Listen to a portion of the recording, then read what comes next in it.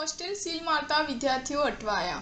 વડોદરાના આમોદરની Stanza living Oakland હોસ્ટેલમાં ફાયર એનઓસી બીયુના અભાવ. વિદ્યાર્થીઓને ફટાફટ રૂમ છોડવી પડી.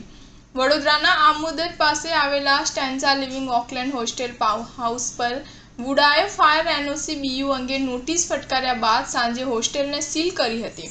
અઢીસો ઉપરાંત રૂમ ધરાવતી છ માળની ખાનગી હોસ્ટેલ સીલ મારવામાં આવતા વિદ્યાર્થીઓ અટવાઈ ગયા હતા. વિદ્યાર્થીઓએ જણાવ્યું કે સેફટી જરૂરી છે, પરંતુ તે સાથે વિદ્યાર્થીઓની સેફટી પણ એટલી જ જરૂરી છે.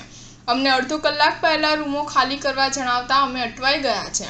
બિલ્ડિંગને સીલ મારતા અટકાવવા માટે રાજ્યના નિવૃત્ત પોલીસ કમિશનરે ભલામણ પણ કરી હોવાનું જાણવા મળ્યું હતું.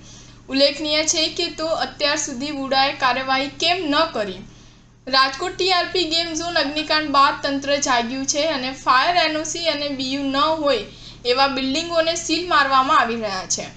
મોડી સાંજે વુડા દ્વારા વડોદરા નજીક આમોદર ગામ પાસે આવેલા છ માળની સ્ટેન્ઝા લિવિંગ ઓકલેન્ડ બિલ્ડિંગમાં ચાલતી ખાનગી હોસ્ટેલને સીલ મારતા હોસ્ટેલમાં રહેતા વિદ્યાર્થીઓ અટવાઈ ગયા હતા. કોલેજમાં રાજ્ય સહિત દેશ વિદેશના વિદ્યાર્થીઓ અભ્યાસ કરે છે અને ખાનગી અથવા કોલેજની હોસ્ટેલમાં રહે છે.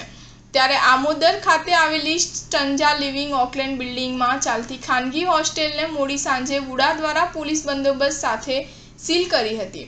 આ બિલ્ડિંગમાં રેસિડેન્ટ અને મકાનો, દુકાનો છે. મળતી માહિતી મુજબ, હોસ્ટેલના સંચાલકો દ્વારા વિદ્યાર્થીઓને કોઈ પણ પ્રકારની આગોતરી જાણ કરવામાં ન આવતા ફટાફટ સામાન પેક કરી રૂમ છોડવી પડી હતી.